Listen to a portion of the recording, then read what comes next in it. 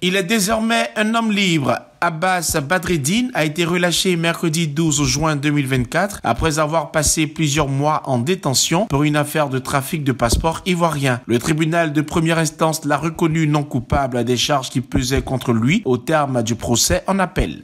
Pour nous, en tant qu'avocat de la défense, c'est une décision satisfaisante car elle est parfaitement conforme à notre ligne de défense. Voilà ce qu'il faut retenir. Monsieur Badreddine Abbas n'a absolument rien à voir avec cette histoire de faux dans les documents administratifs en général et précisément la question de la fausseté des passeports ivoiriens.